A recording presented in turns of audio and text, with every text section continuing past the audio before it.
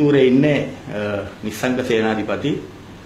මේක ආරම්භය 2006 ජනවාරි 4 වෙනිදා. අර ඒක ඒ විදිහට වැටෙන්නේ ජනවාරි 4 කැලිෆෝනියාවේ ඩිස්නේලන්තයේදී ලුමසින් වාහනයක් ඇතුලේ.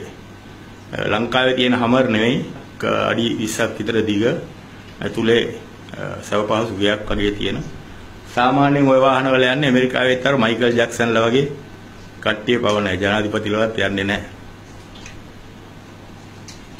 මෙතන වාඩි වෙලා ඉන්නේ දකුණු පැත්තේ බබායෙක් ඉන්නේ නිස්සංග සේනාධිපතිගේ බිරිඳ. අතන මැද්දේ ඉන්නවා කාන්තාවක් කැප් එකක් දාගෙන. කාටවත් හිතන්න පුළුවන්ද කවුද කියලා. එයා තමයි විජේදාස රාජපක්ෂ මැතිණිය.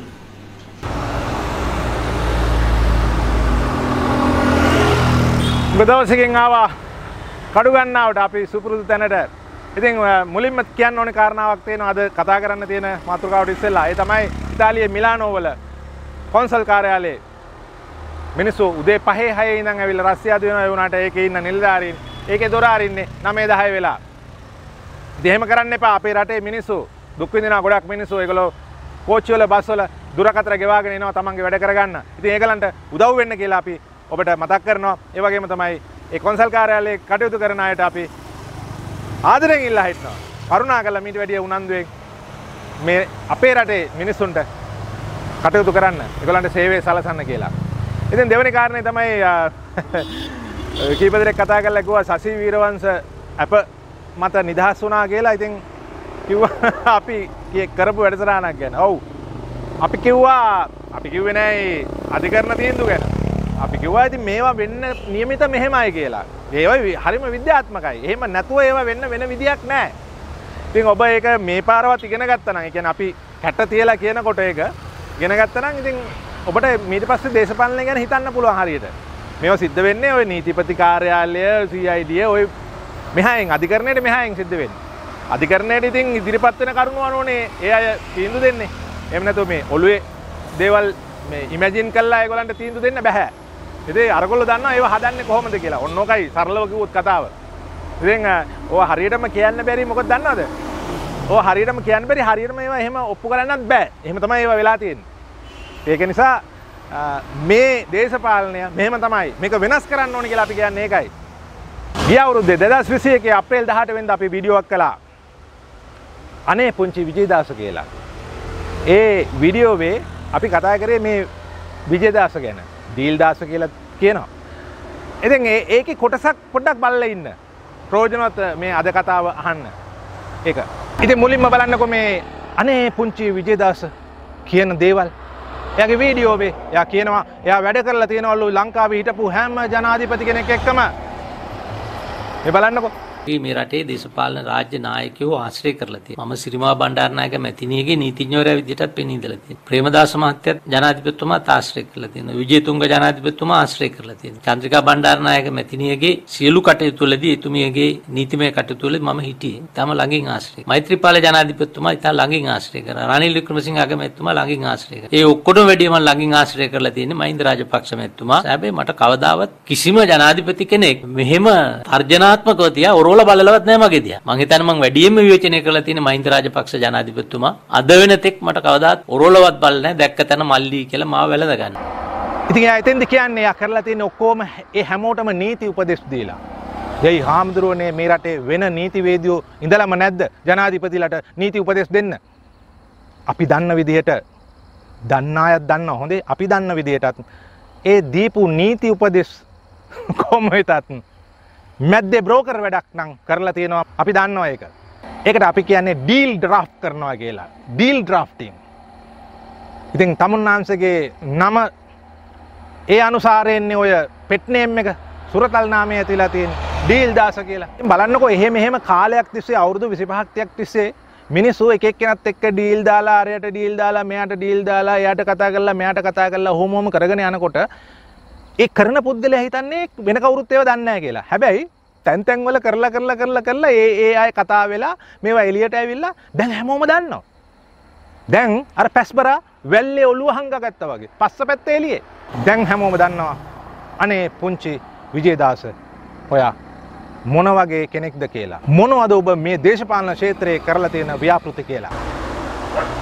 මොකද මේ හොර නඩ දෙකමනේ මේ රට රැවට්ටුවේ. ඉතින් මේ නඩ දෙකත් එක්කම මෙයා කොහොමද දෙපැත්තේ වැඩ කළේ කියලා අපි මේ වීඩියෝවේ කිව්වා. ඒකේ පොඩි කොටසක් තියෙනවා. ඒක සම්පූර්ණයෙන් ඔබ අහන්න ඊට පස්සේ. ඒක ඇහුවාම මේක මේ කතාවට හොඳ ප්‍රවේශයක් තියෙනවා එතන. ඉතින් හැමෝම දන්නවනේ මේ රට කොල්ල කෑවා, විනාශ කළා, ම්, තමන්ගේ ඥාතීන්ට සැලකුවා රාජපක්ෂලා රාජපක්ෂලා. මහින්ද රාජපක්ෂ ප්‍රධාන ඒ ප්‍රමුඛ ඒ පවුල් නඩය. හැබැයි ඒගොල්ලෝ විතරක් නෙමෙයි. තව රාජපක්ෂලා ඉන්නවා තට්ටු දෙකක් තුනක් පල්ලෙහා. පොඩි පොඩි රාජපක්ෂලා. ඒකයි අද අපි කිව්වේ. අනේ පුංචි රාජපක්ෂ ගොත ගොතා කියන ඔය ටොම්පචනං අහන් ඉන්න බෑ කියලා. ඒකයි අපි එහෙම කිව්වේ. මොකද විජේදාස රාජපක්ෂ හිතනවා නම් එයා කියන ටොම්පච සහ එයා ජනතාව රවට්ටන්න කියන දේවල් සියලු දේවල් ජනතාව තවමත් විශ්වාස කරනවා කියලා මං හිතන්නේ එයාට වැරදිලා. එහෙම නෑ. දැන් මේ වෙලාව වෙලා තියෙන්නේ මිනිස්සුන්ට කර කියා ගන්න දෙයක් නෑ. රනිල් වික්‍රමසිංහ අගමැති වුණා. ගෝඨාභය තාමත් ජනාධිපති. අර එලෝපු ඇමතිලා ආපහු ඇවිල්ලා ඇමතිකම් අරන් ගෙවල් ගිනි තියලා මිනිස්සු තමන්ගේ න්- නොසතුට ප්‍රකාශ කළා. තමන්ගේ අප්‍රසන්න බව ප්‍රකාශ කළා. ඒගොල්ලෝ ආපහු ඇවිල්ලා ඇමතිලා වෙලා. ඉතින් මොනවද කරන්නේ? මේක තමයි ප්‍රජාතන්ත්‍රවාදය. ඔළුවේ විවිධ දේවල් තියෙන්න පුළුවන් විප්ලවාරම මේවා. ඒවා භූමියේ ප්‍රායෝගික දෙයක් බවට පත් කරන්න. ඒව ලේසි නෑ.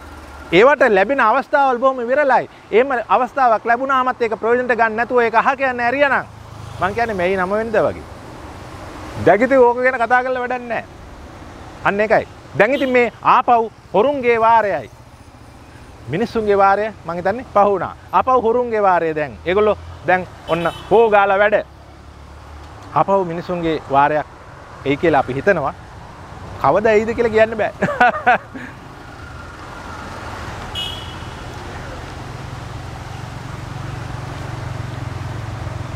ඉතින් අපි කිව්වනේ ජොන්ස්ටන්ලා සනත් නිශාන්තලා ඔය ඒ වගේ කට්ටිය රෝහිතා බේගුණවාරින් රත්තරන් කියලා කියන්නේ අපි දන්නවා කළු චරිත කියලා. ඉතින් ආපහු ඒව හොදන්න දෙයක් නැහනේ. හරි ෂෝක්. හැබැයි GL පීරිස් විජේදාස රාජපක්ෂ දයාගමගේ වගේ අය ඇවිල්ලා හිටගත්තාම අම්මට සිරි. හාමුදුරුවරුත් නැගිටිනවා.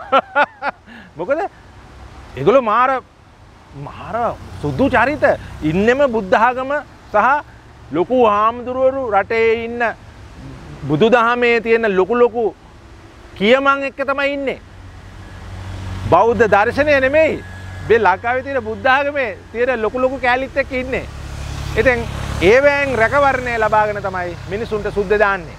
මිනිසුන් රවට්ටන්න හදන්නේ. හැබැයි මේ පාරේ ඒක හරියන්නේ නැහැ. ඒකයි මේ අපි කියන්නේ. ඔය ගෙනහලා තියෙන 21 වෙනි සංශෝධනේ ඕක රෝල් කරලා අහගන්න තමුන්නේගේ ආවල් තැන. ඕවා ආපහු මේ රටේ ඔය වගේ සෙල්ලම් කරන්න හම්බෙන්නේ නැහැ.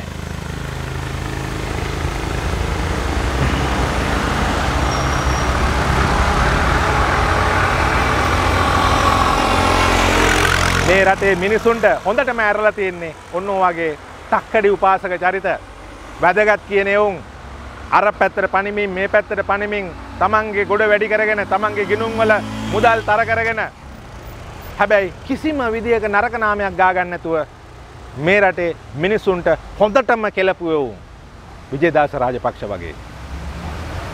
අනේ පුංචි රාජපක්ෂ. ගොත ගොතා කියන ගොබ්බ කතා ගොත ගොතා කියන ටොම්පචනං අහන් ඉන්න බෑ. තවත් නම් අහන් ඉන්න බෑ. එහින්දා මිනිස්සු ඉදිරියේදී ක්‍රියාත්මක වෙයි කියලා අපි උදක්ම බලාපොරොත්තු වෙනවා. මේ වගේ මේ වගේ මේ වගේ? මේ වගේ? බැටලු හම පොරෝගත්ත වෘකයෝට එරෙහිව. බැටලු හම පොරෝගත්ත වෘකයන්ට එරෙහිව.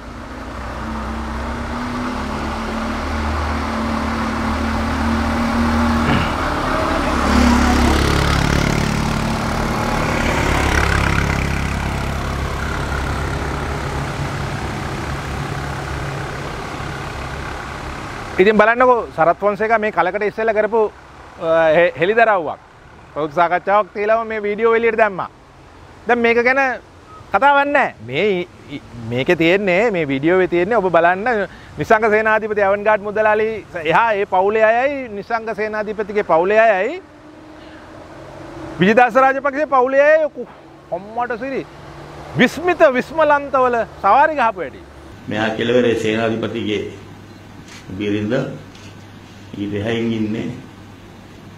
මෙතනට පේන අඩුයි. මම දෙන්නයි සේනාධිපතිගේ බිරිඳ සහ විජේදාස රාජපක්ෂ ගරු අධිකාරී නැමතුමාගේ නිසංක සේනාධිපති හීනෙන්වත් දැකලවත් නැති නැමතුමාගේ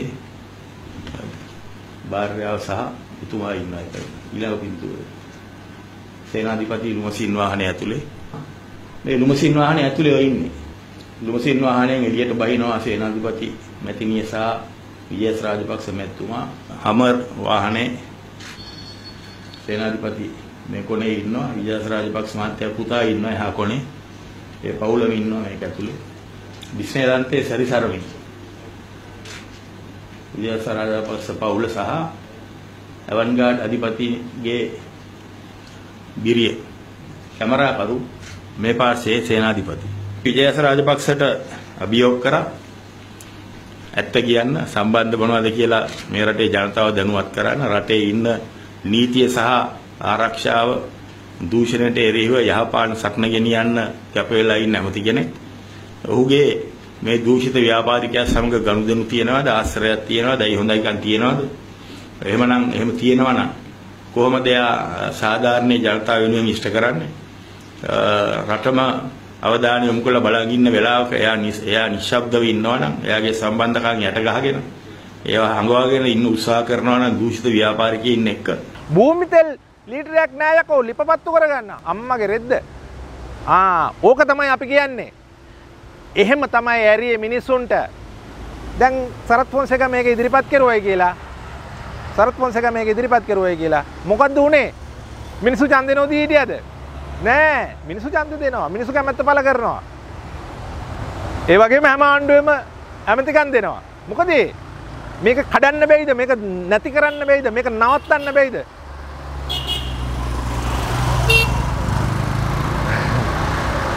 මිනිස්සුන්ගේ ආණ්ඩුවක් හදන්න බැයිද? පීපල් පව මහජන බලය උඩට ගේන්න බැයිද? එකයි අපි අහන්නේ.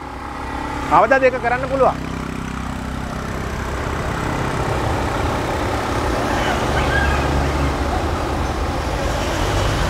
එයින්දා ඔය හරින් ප්‍රනාන්දුල මනුෂනානය කරලා වගේම විජේදාස රාජපක්ෂ කියන්නේ දේශපාලන බ්‍රෝකර් කෙනෙක් ඒ පැත්තර මේ පැත්තර පැන පැන බ්‍රෝකර්කං කර කර තමන්ගේ මඩිය තර කරගෙන තමන්ගේ ජාමත් බේරගෙන සුදු සූට් එකත් බේරගෙන ෂේප් එකේ මෙච්චර කල් ජීවත් වෙලා තියෙනවා. හැබැයි හෙලිදරව් වෙන්න නියමිතයි. අනිවාර්යයෙන්ම හෙලිදරව් කරන්නත් ඕනි. හෙලිදරව් කළා මේ රටින් පුළුවන් නම් පිටුහල් කරලා දාන්න ඕනි. ඒ තරම් වසංගත චරිත. ඉතින් අද කාලගුණය බොහොම අවුල් ඉතින් වැස්සක් අඩා හැලිමින් තියෙන යන්තම් එහින්දා අපි මේ කතාව අද මෙතනින් නවත්තනවා. ඔබ මේ ගැන හිතන්න.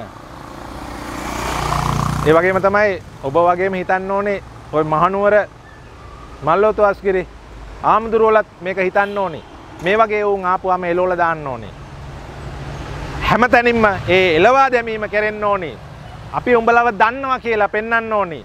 දේශපාලන පක්ෂවල ඉන්න අය ඇයි මේක හෙළිදරව් කරන්නේ නැත්තේ? ඒගොල්ලොන්ටත් මේ බ්‍රෝකර්ලා ඕනි වෙනවද ඉස්සරහට? ඒකද හෙළිදරව් කරන්නේ නැත්තේ?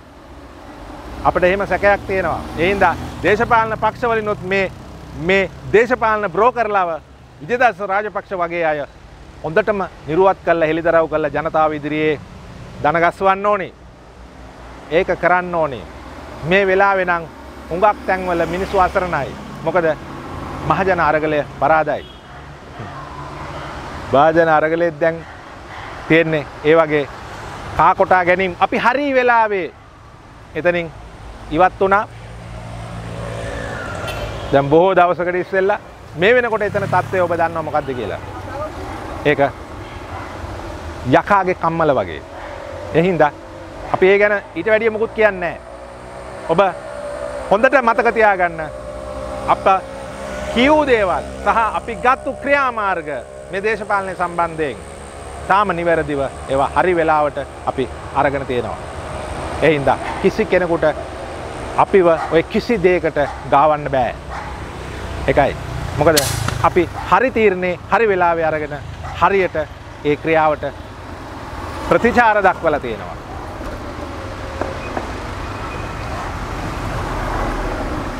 දැන් අපි ඔබට ආරාධනා කරන්නේ මේ කල්ලු චරිත හඳුනා ගන්න මේ දේශපාලන බ්‍රෝකර්ලා වඳුනා ගන්න සුදු ඇඳගෙන බුද්ධාගම තවරගෙන හාමුදුරුවන්ගේ සිවුරට මුවා වෙලා එන මේ වගේ චරිත ලංකාව විනාශ කළා. මහින්ද රාජපක්ෂලා විතරක් නෙමෙයි. ඒ හා සමානම විනාශයක් මේගොල්ලොත් කළා. ඒ හින්දා ඔබ මේ චරිත හඳුනගන්න අපි හැමදාම දිගින් දිගටම මේ ටිකේම කිව්වා. කළු එවුන් අපිට අඳුරගන්න ලේසි. මේ සුදු ඇඳගෙන එන කළු එවුන් අඳුරගන්න අමාරුයි. ඒකට හොඳම නිදර්ශනය තමයි විජේදාස රාජපක්ෂ. එහින්දා අපි මේ ගැන කල්පනාකාරීවයමු මේ රට වෙනස් කරන්න ඕනේ. මේ රට ලස්සන රටක් බවට පත් කරන්න ඕනේ. ඊයේ මට කතා කරපු ඕස්ට්‍රේලියාවේ ඉඳලා මිත්‍රයෝ කීප දෙනෙකුට මම කිව්වා අපි මේ රට ඔස්ට්‍රේලියාවටත් වැඩිය ලස්සන රටක් කරනවා කියලා. ඒගොල්ලෝ හුරේ කිව්වා. ඒගොල්ලෝ දන්නවා ඒක කරන්න පුළුවන් කියලා. ඒගොල්ලෝ දන්නවා අපේ අධිෂ්ඨානය ඒ තරම් ප්‍රබලයි කියලා. එහින්දා ඔබත් ඒ අධිෂ්ඨානයම ඉන්න අපි ඒක කරමු. අපිට ඒක කරන්න පුළුවන්. අපි ඒක හරි විදියට කරමු.